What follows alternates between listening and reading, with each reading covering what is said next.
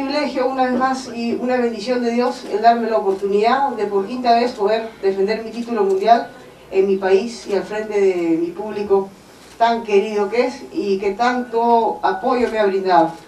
Así que viva la emoción con nosotros y arriba Perú, el título se queda en casa. Oh, me, me siento contento porque es una prueba difícil para mí. Me catapulta entre los 10 mejores del mundo, así que ¿qué me achica eso? Al contrario, me da alegrar, es como te digan, oye, te voy a dar la tarea. Si ganas esta tarea te doy 10 mil dólares, 20 mil dólares, qué sé yo qué, lo, lo, lo, que normalmente no te pagan.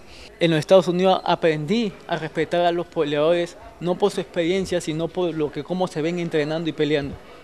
Así que solamente me queda decirle que voy a hablar con esto.